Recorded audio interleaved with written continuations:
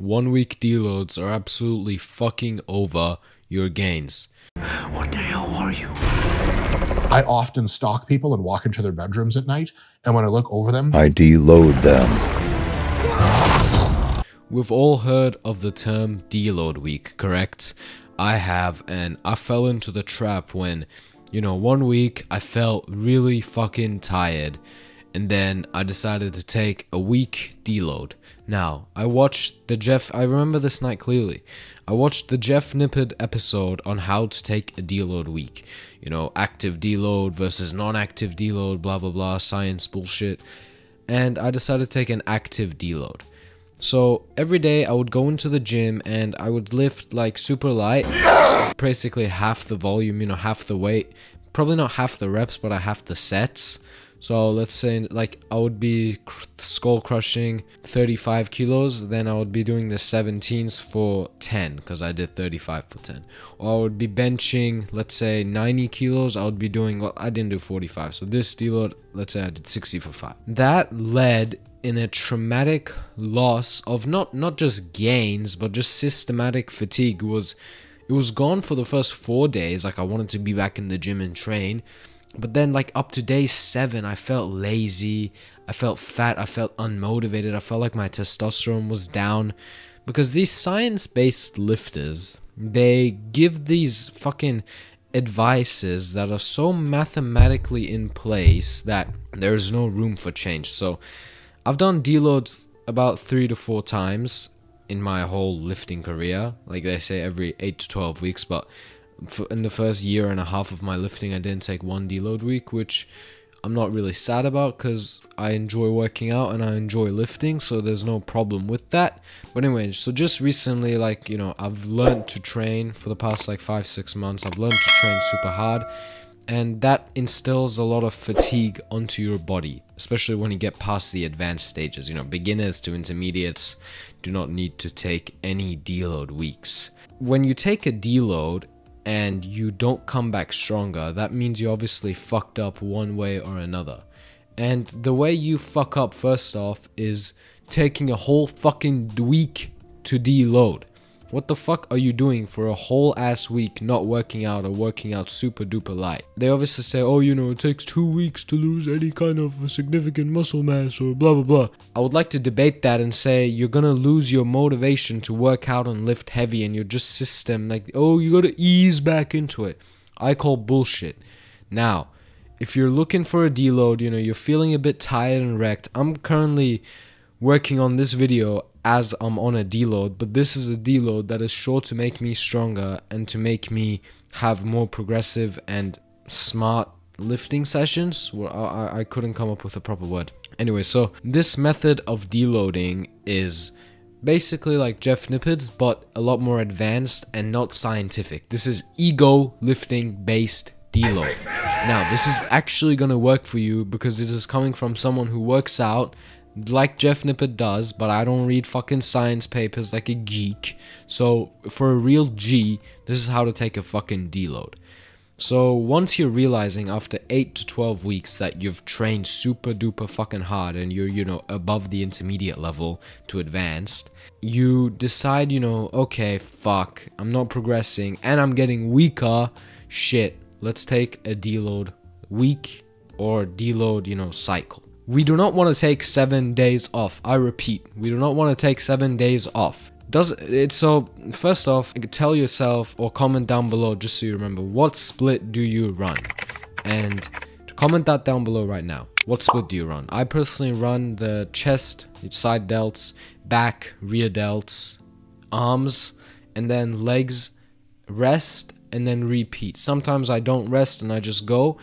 But if I'm feeling wrecked, I'll rest. Anyway, so that's what I do. And that's what I call a cycle of training. Not like a whole mesocycle, but just a mini cycle of training. So I do chest, back, legs, arms. Oh, sorry. Chest, back, arms, legs. And then I do, I just repeat that all over again and I rest. Anyway, so here's the catch.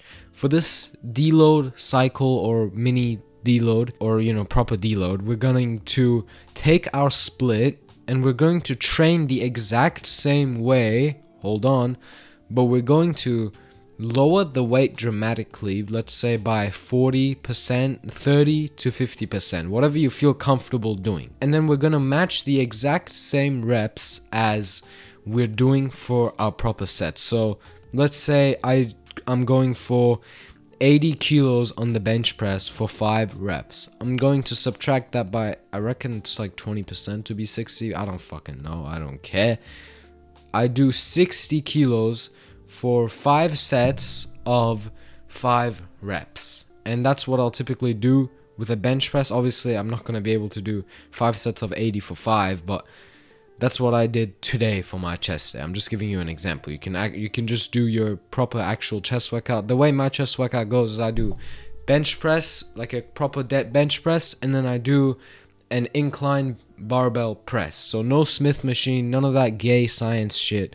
I just lift as heavy as I can and I'll half or you know subtract some weight from the volume so I'm not training to failure and I just feel like the set is super duper easy.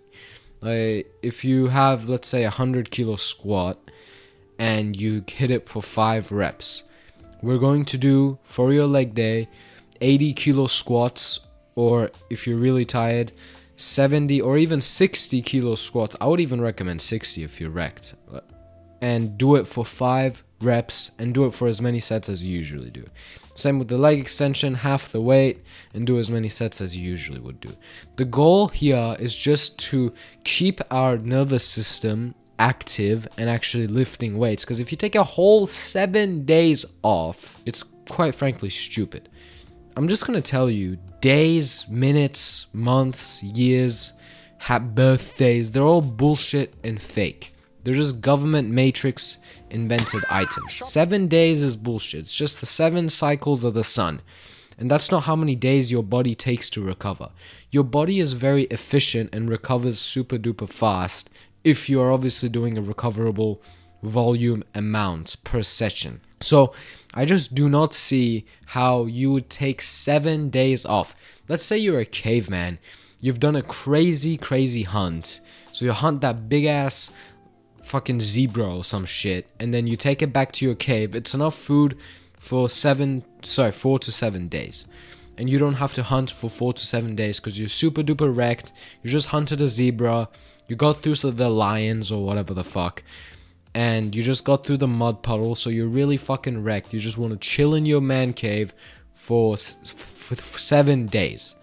First off, you're gonna run out of fucking food, you moron and you're just gonna not be able to hunt like you used to. But if you go, let uh, you have you eat for that zebra for four days. Obviously, cook the zebra, and you know there's a little bit of zebra left, but then you go back to hunting more zebras. You're still in that mood to hunt. You're no longer lazy. You're not you know you don't ha- you don't you haven't lost the motivation to hunt zebras same thing with deload workouts if you take a whole seven days off halving the volume halving the reps halving the sets you're gonna come out a lazy sack of shit because most people do not track their macros. They're just gonna eat whatever the fuck comes in sight and us gym bros we love to eat. So we're gonna get fucking we're not gonna get fat we're gonna be very bloated. We're gonna eat junk. Maybe not me but you. Okay we will just get off balance and it's just going to be hard to get back on. That's happened to me before. Not that I've ate junk or anything, but I've just gotten off balance and gotten off motion and the fucking just the momentum was gone is what I'm trying to say. Anyway, so just a quick summary of how to take this deload.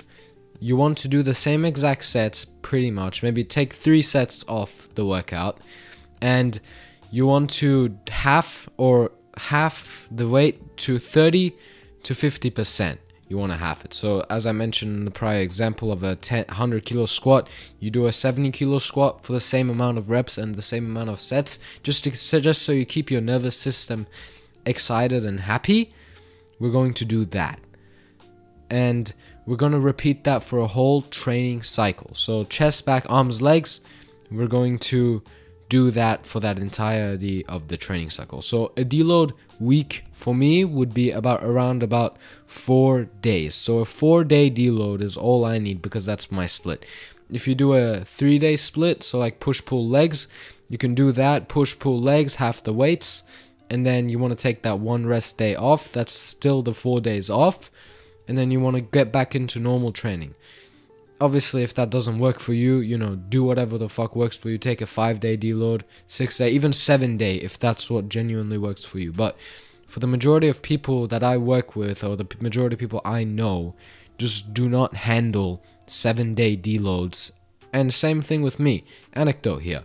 No one really gets back from a seven day deload ready to fucking smash the gym. They're most likely lazy and they've gotten comfortable and useless. But after four to five days, you just have that drive in you. You want to fucking work out and you want to fucking lift some heavy ass weights. And you watch Ronnie Coleman videos, you get hyped up. But after seven days, you know, you've been in your stanky ass room watching stanky ass hub and you just, you're not in a good mood. So, anyways, guys, I hope you took away something well from this video. Please subscribe if you enjoyed. Drop a like, drop a comment if this helped you out, or if you have any advice or any stories relatable that someone else can relate to and benefit from, definitely drop it down the fuck below. I hope you enjoyed. Subscribe to me, the Anti Order. Click on one of these videos and have a good motherfucking day. Stay positive.